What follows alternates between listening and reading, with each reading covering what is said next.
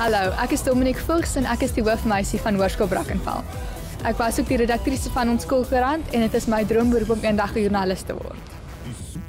Hallo, my naam is Ruben Fourie. Noem my sommer fantasties. En ek is die beat van Brackenfell. Ek is Gustav Meyer.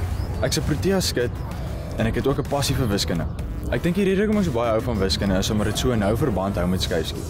Hallo, my naam is Maritza Brandt. Die Kwai Afrikaanse onderwyseres, verbonde aan die Hoërskool Brackenfell. En ons, ons is die brakkies van Hoërskool Brackenfell. En die ander spanne gaan in hulle kanon wees. Super squad. Ja, sit jou face op vir die super.